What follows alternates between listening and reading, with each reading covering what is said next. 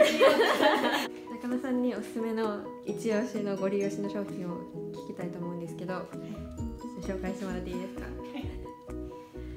ちらのビアベリーさんのスモールランドウォレット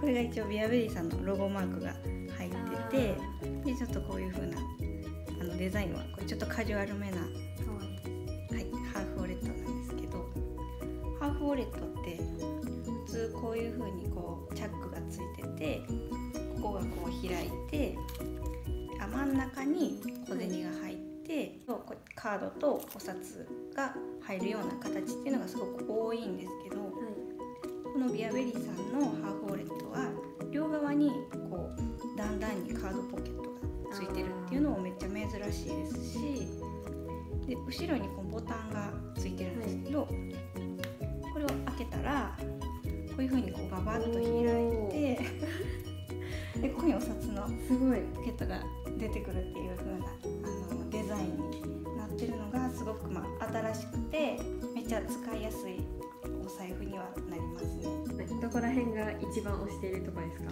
まあ、一番推してるのは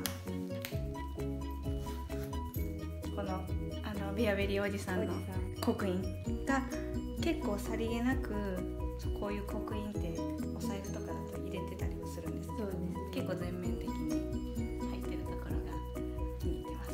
ビアベリーおじさんは誰なんですか？ビアベリーおじさんですか？ビアベリーおじさんは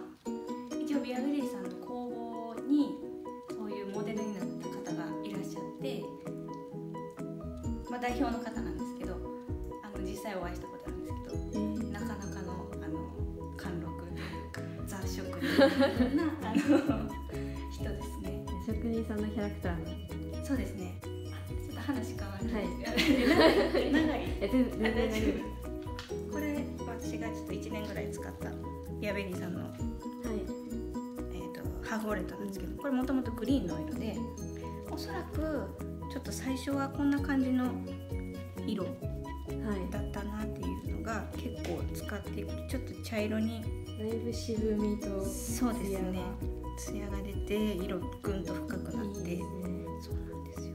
このおじさんもちょっともうちょっと若い感じだったんですけど。あおじさんも共にそうちょっと共に。あそうそうそう。ちょっともうちょっと年取ったかなっていう。ね。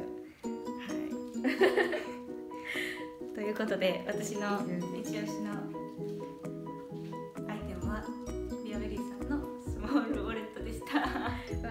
とうございます。